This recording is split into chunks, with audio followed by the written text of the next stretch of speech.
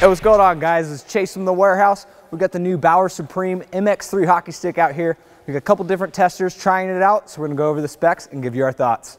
Now you're gonna see a lot of the same features that we saw in the NXG, but they made one really big improvement. Now down on the blade, this is where they went ahead and used that PowerSense core, and this is gonna have the same wrap that we saw in the Nexus 8000 it's actually integrated in this Hourlater here, and it's gonna give you a lot better durability because it's gonna prevent any cracks and chipping happening on the edges, but it also gives you a much more direct sense of the puck with that power core inserts here. So a big upgrade here, and they actually went ahead and left that kick point alone. I prefer the low kick point sticks for the quick shots, but powerful players like Chase really like to load up and put a lot of power into their shots. This stick is designed specifically for them.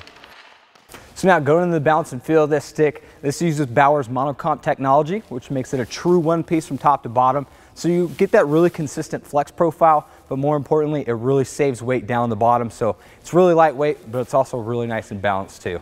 So now, being a big fan of the NXG, the PowerSense blade core made a huge difference when it came to the liveliness and responsiveness, which is what I really saw you know, and felt when I was taking shots or when I was puck handling. So for even more information on the Bauer Supreme MX3 hockey stick, be sure to check it out at inlineandicewarehouse.com.